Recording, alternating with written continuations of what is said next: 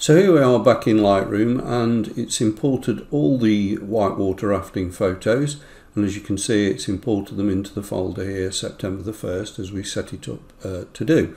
And there was 971 photos. These were taken on a 20 megabyte camera so the file sizes are 20 megabytes um, and they took probably 971 photos took about an hour and a half um, whilst it was building, importing and building the one-to-one previews. It would have been probably a third of that time if we hadn't have asked it to build one-to-one -one previews. But I think at the next step you'll see why um, that's a, a really good thing to do.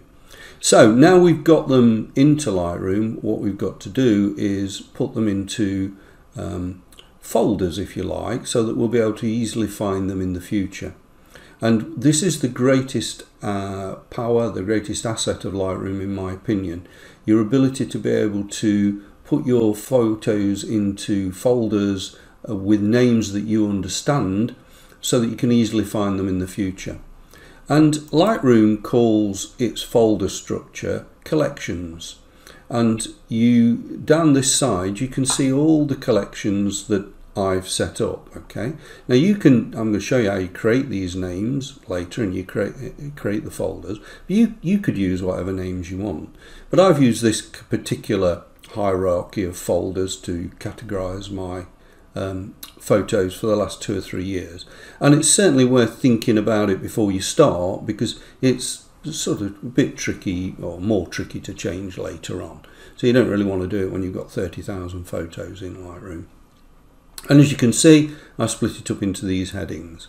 And if you, just to give you an example how it works, if we look at say nature and we open the nature uh, collection, then in there is sub-collections. And if we go down, uh, we can open up birds. And here are all the birds that I've taken photos of. And if we open up the little owl, then here are the photos I took of a little owl up in a hide in um, over towards Lincoln Way, I think. So these are the master photos that I decided to keep from that particular shoot. So you can see that by setting up these folders, um, which Lightroom calls collections, it's very easy in future to be able to find your particular type of uh, your particular photo. Now there are other ways in Lightroom to find photos. You can uh, search with the keywords that we talked about in the last um, video, but it's always easier, isn't it, to be able to search with uh, titles and names you understand. And if I went up and did another little owl shoot or another um, uh, took little owls at another hide or whatever, then I'd just set up another subfolder within little owl and maybe call it shoot 2, something like that. So that's how I do it. Now, how do you set up these folders then? Well, let's go back to the uh, whitewater rafting photos. And what we're going to do is we're going to set up a folder that has a name that we understand. So we'll, and it obviously needs to go under sport, whitewater rafting sport. And you can see I've already done this because obviously I imported these photos before and I've called it white water. But for the purpose of this uh, example, let's create another one. So let's create a collection set, which is Lightroom's name for folder. I won't call them folders anymore. We're going to create a collection set in sport and we're going to call it, we'll call it uh, Holme Pierrepont. That's what that was the location. So I right click on sport and what I want to do is create a collection set. So I could create a collection or a collection set. The only difference is a collection set allows you to create other collections within it, whereas a collection is just a standalone collection of photos. So we're going to create a collection set and it comes up and it says what title do you want to give it. So we'll call it Holme Pierrepont and we it, we're collect, uh, placing it within inside the collection set sport, which is where we'd want it to go. And you can see it's popped up inside sport.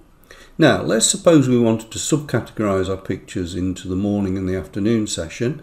Then what we need to do is create a collection within at that collection set Holme Pierrepont. So we create a collection and we call it morning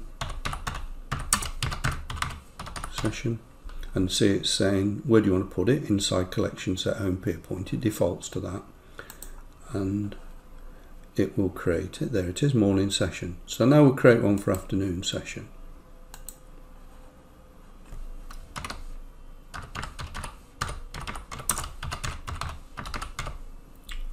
So watch over here and you'll see it create it.